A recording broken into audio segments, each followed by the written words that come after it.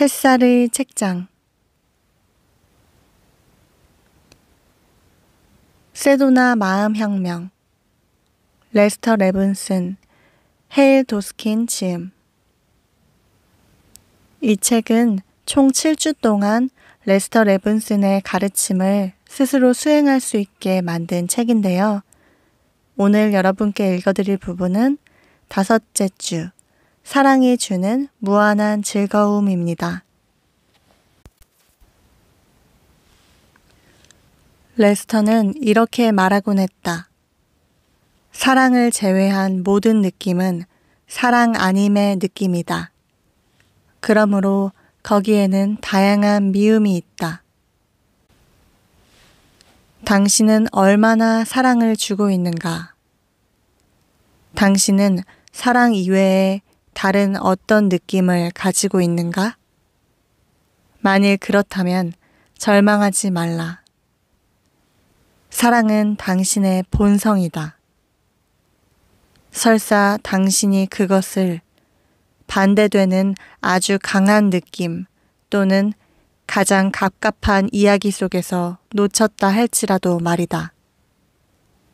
이 진리를 당신 안에서 다시 드러내기 위해 당신이 할 수 있는 모든 것은 당신의 사랑 아님의 느낌들을 놓아버리고 흘려버리는 것이다. 그러면 남는 것은 오직 사랑뿐인 바로 진짜 당신 자신이다. 레스터는 모두를 사랑으로 바꿔라 라는 테크닉을 제시하곤 했다. 당신의 삶 속에서 이 테크닉을 경험하려면 아래의 지시를 따르라. 당신의 모든 사랑 아님의 느낌을 사랑으로 바꾸는 과정을 시작할 것을 허용하라. 이러한 느낌들은 당신의 진짜 사랑의 본성을 가리기 위해 나타난다는 것을 기억하라. 당신이 그것들을 놓아버리면서 당신 자체인 자연스러운 사랑이 점점 더 빛날 것이다. 단순히 당신 자신에게 물어보라. 당신이 사랑 아님의 느낌을 가질 때마다 당신은 이것을 놓아버릴 것을 원하는가? 나는 이 느낌을 사랑으로 바꿀 수 있는가? 놓아버림은 단지 선택이다. 그리고 만일 당신이 이 선택을 허용한다면 바로 뒤에서 들추어지기를 늘 기다리고 있는 사랑을 드러내면서 표피적으로 떠오른 사랑 아님의 느낌은 분해될 것이다. 표면에 떠오른 어떤 느낌들이라도 분해되면서는 사랑으로 초대된다. 사랑은 무한한 힘이므로 거기에 사랑이 분해하지 못할 느낌은 없다. 그 상황에서 당신이 시작했던 그 느낌이 아닌 오직 사랑만 느낄 때까지 같은 느낌을 가지고 수행을 계속하라. 이것을 완성하기까지 약간의 시간이 걸릴 수도 있다. 어떤 때는 그 느낌이 완전히 가버리기 전에 몇 개 정도만 노연하는 것이 보일 수도 있다. 그러나 당신이 이 테크닉을 지속적으로 수행한다면 당신은 점점 더 빨라질 것이고 점점 더 쉬워질 것이다. 이 수행을 실험할 때는 덜 강하고 덜 고착된 그런 느낌들로 시작하라. 좀 더 쉬운 느낌들로 시작하면 당신의 가장 큰 상처나 실망도 이 방법으로 쉽게 놓아짐을 발견할 것이다. 당신은 다음과 같은 대칭 개념들로 수행을 시작할 수 있다. 나는 사랑받기를 원한다. 나는 나 자신이 사랑할 것을 허용한다. 나는 사랑이 필요하다. 나는 사랑이다.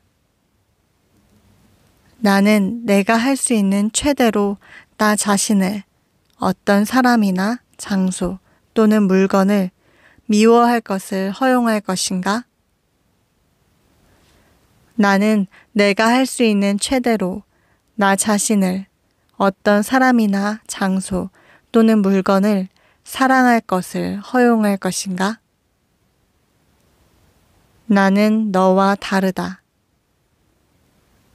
나는 너와 같다. 나는 사랑하고 있다. 나는 사랑이다.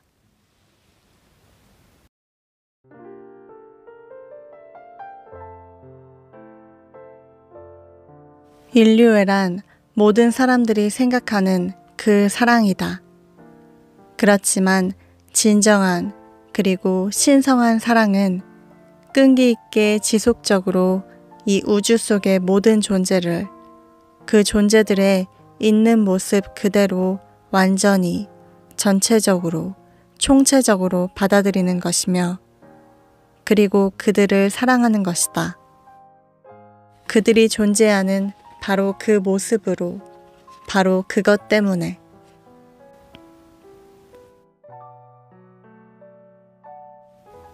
신성한 사랑은 상대방이 존재하기를 원하는 방식대로 그 사람이 존재하도록 허용하고 원하는 것이다. 신성한 사랑이란 모든 존재를 동등하게 보는 것이며 그렇게 받아들이는 것이다. 그리고 나는 이것이 바로 우리의 사랑이 신성한 것인지 아닌지를 알아보는 척도라고 생각한다. 우리가 만나는 모든 사람들이 우리에게 다 동등한가? 우리에게 반대하는 사람에 대한 사랑이 우리를 지지하는 사람에 대한 사랑과 같은가?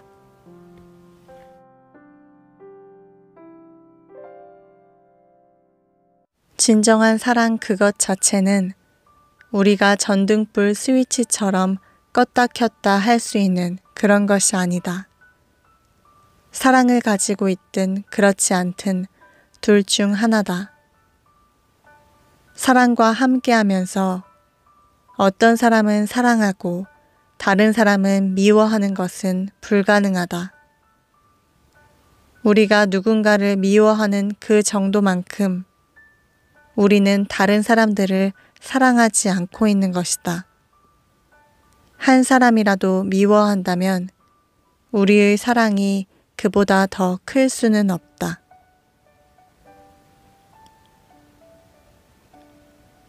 보통 사람들이 말하는 사랑은 간단히 말해 필요다. 나는 이 사람은 사랑하지만 저 사람은 사랑하지 않는다 라고 말한다면 이 사람이 필요하다고 느끼는 것이다. 우리가 원하는 것을 얻기 위해 이 사람에게 잘 대할 것이다. 그러나 그것은 진정한 사랑이 아니다.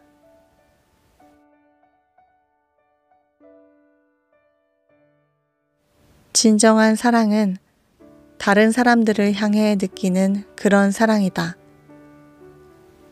이것은 우리가 우리 자신을 얼마나 다른 사람들에게 줄 수 있는가로 결정된다. 꽉 찬 사랑은 모든 다른 존재들을 자신과 동일시하는 것이다.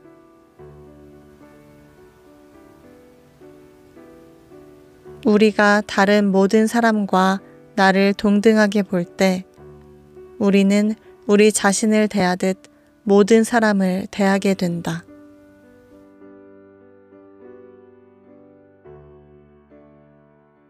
사랑은 위로이며 진정제다.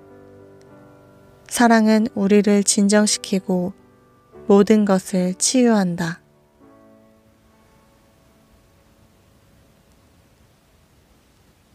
당신이 사랑할 때 당신은 다른 사람들도 사랑하도록 고양시킨다.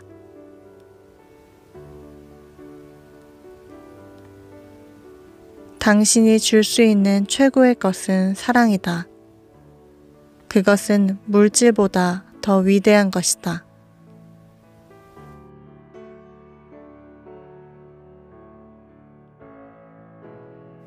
당신이 사람들을 이해할 때 당신은 그들이 그들 나름대로 옳다고 믿는 일을 하고 있음을 본다.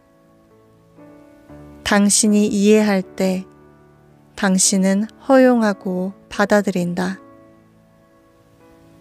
당신이 이해하고 있다면 당신은 사랑하고 있는 것이다.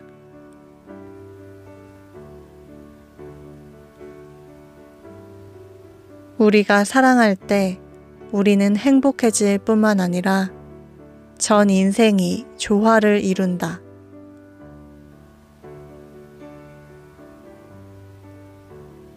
행복은 우리가 사랑할 수 있는 능력과 동급이다.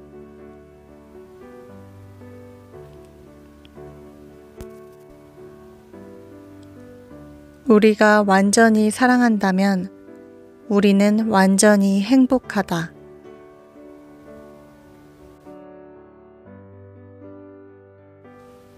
당신이 원수를 사랑하면 당신에게는 더 이상 적들이 없다.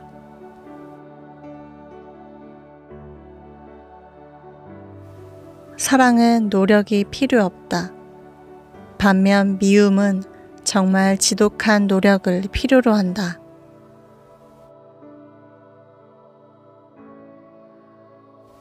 사랑의 역량을 키우는 최고의 방법은 자신을 이해하는 것에서부터 시작된다. 사랑은 말하자면 우리가 그것을 발전시키는 만큼 우리 속에서 진화해 나가는 지속적인 어떤 자세다. 우리는 우리의 가족들에게 먼저 사랑을 연습해 볼 수 있다. 가족 모두에게 그들 자신의 존재성을 허락하라. 그리고 그것을 친구들에게, 그리고 낯선 사람들에게, 그리고 모두에게로 확장해 보라.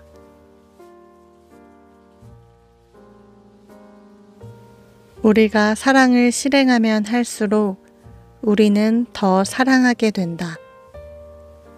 우리가 더 사랑할수록 우리는 더 큰 사랑을 실행한다.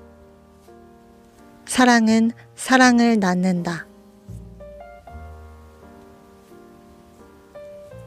우리가 더 많이 사랑할수록 우리는 우주의 조화와 더 많이 접촉한다. 인생을 더 많이 즐기게 되고 인생이 더 많이 아름다워 보이고 원하는 모든 것을 더 많이 이룬다. 이것은 위로 올라가는 나선형의 순환을 시작한다.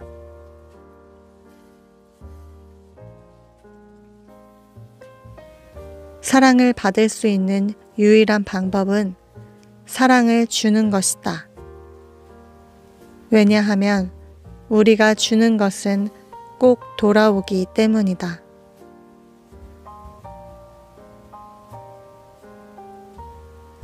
이 우주에서 가장 쉬운 일이 모든 사람을 사랑하는 것이다.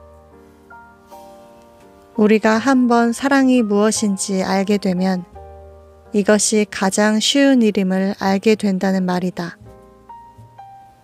반면 사람들을 사랑하지 않는 데는 엄청난 노력이 필요하다. 그런데 바로 그런 일들이 매일 일상에서 일어나고 있음을 본다. 그러나 우리가 사랑을 하면 우리는 모든 존재와 하나가 된다. 우리는 평화롭고 그리고 모든 것은 저절로 척척 완전하게 일어난다. 높은 차원의 정신적 사랑에는 자기 상실감이 없다. 우리가 모든 사람을 사랑할 때 우리는 자신을 다치면서까지 그렇게 할 필요는 없다. 그리고 결코 다치지 않는다. 우리가 사랑할 때 거기에는 상호작용의 느낌이 있다. 상호작용이 있다면 그것은 옳은 상황이다. 당신이 사랑하고 있다면 당신은 바로 그 법칙 속에 있는 것이다.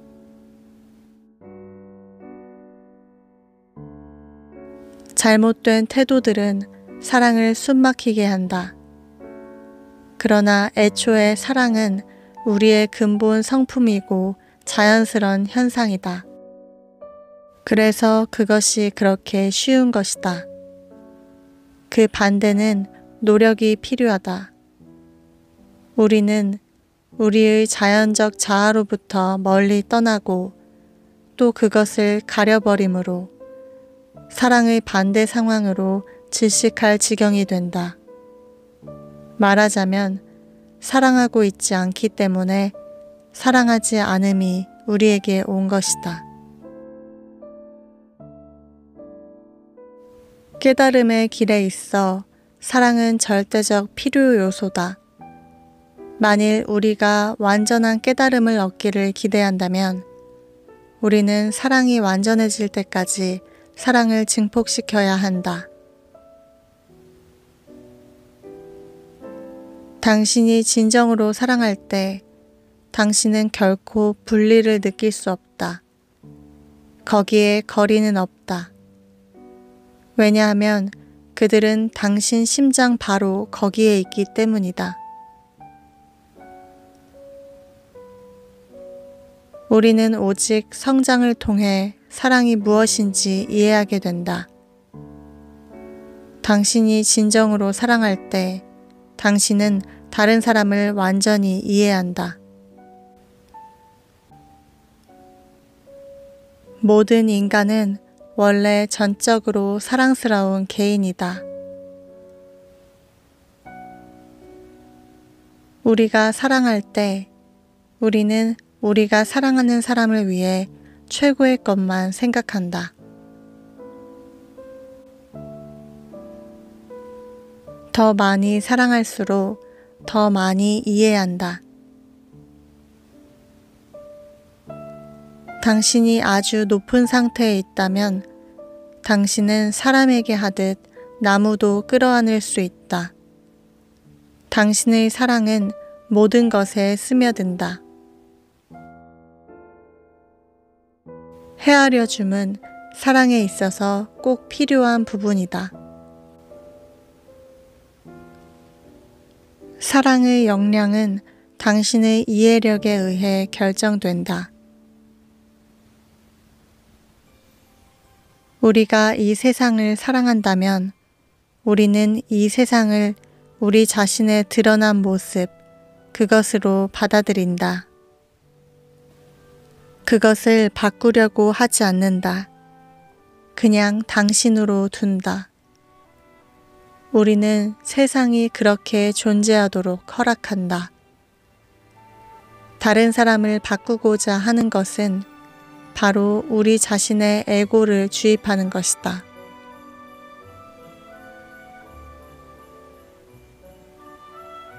사랑하는 것보다 사랑이 되는 것이 더 높은 것이다. 진정으로 신에게 귀의한 자는 사랑을 선택할 수 없다. 그가 사랑이기 때문이다. 사랑하는 것이 아니라 사랑이 되는 것이 신과 함께하는 것이다. 햇살의 책장 햇살이었습니다.